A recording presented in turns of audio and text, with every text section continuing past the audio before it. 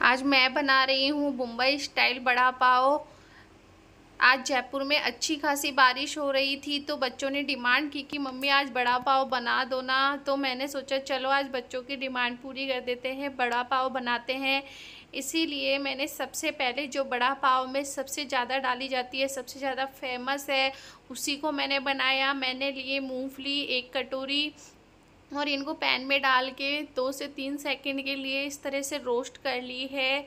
इनको रोस्ट करने के बाद में मैं निकाल लूँगी एक बर्तन में और इनके छिलके हटा लूँगी। या तो आप हाथ से छिलके हटा सकते हैं या कपड़े से इस तरह से छिलके हटा सकते हैं। छिलके हटा के और इनको हम निकाल लेंगे और इस तरह से मैंने मूंगफलियों के छिलके हटा लिए हैं।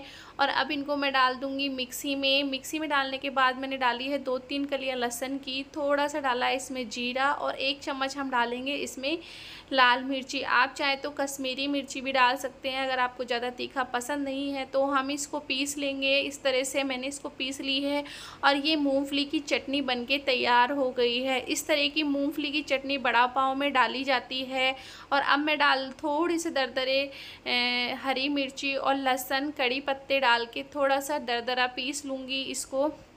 थोड़ा सा इसमें डाला है मैंने नमक और जीरा और इनको दरदरा ही पीसना है।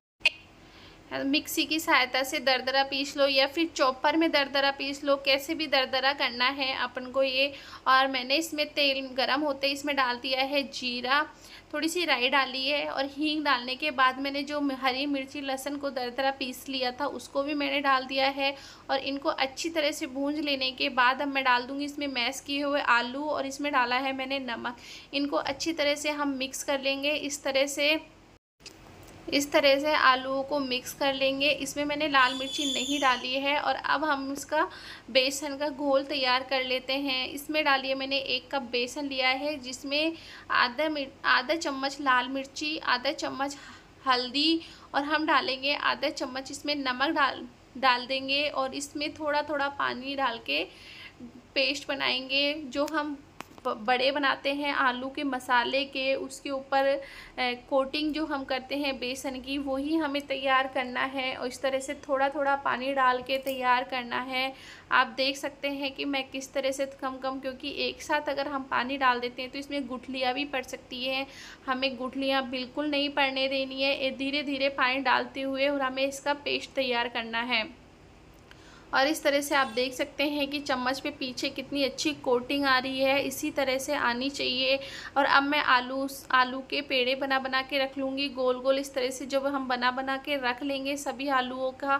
और फिर हम साथ में ही इसमें डालते हुए आ, तेल में डाल देंगे। मैंने सारे आलूओं को इस तरह से बना लिया है गोल गोल गोल और अब मैं इसको उंगलियों से एक बार और घोड़ को थोड़ा सा हिला लूँगी, अच्छी तरह से मैश कर लूँगी और इस तरह से मैं इसको हाथ से ही डालूँगी। आप चाहो तो इसको चम्मच से भी डाल सकते हो और मैं हाथ से ही डाल दूँगी। अच्छी तरह से डलते हैं हाथ से और इस तरह से एक एक करके मैं डाल दूँगी। आप देख सकते हैं कि हमारे बड़े कितने अच्छी खासे तैयार हुए हैं। इनको अच्छी तरह से सेक लेंगे। ये देखिए कितने अच्छे से हमारे सीख चुके हैं बड़े। और अब मैं इनको सबको निकाल लूँगी। इसी तरह से हम दूसरे भी डाल देंगे। दूसरे जो भी हमारे बच्चे हैं, उनको भी मैं इसी तरह से डाल दूँगी बड़ों को।